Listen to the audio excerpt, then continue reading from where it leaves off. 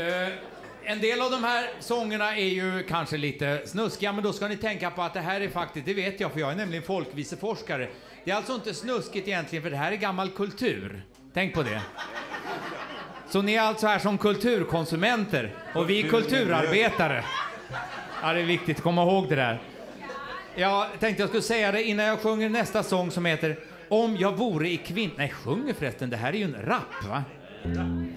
Nu ska jag rappa vi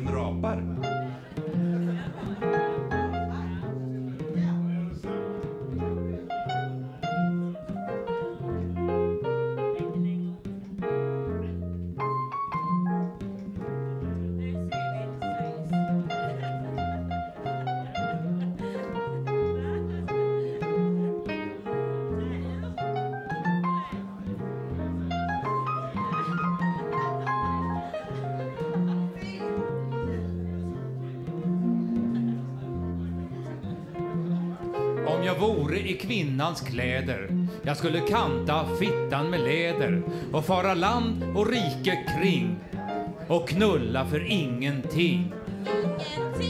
Ingenting! Ingenting. Ingenting! Ingenting.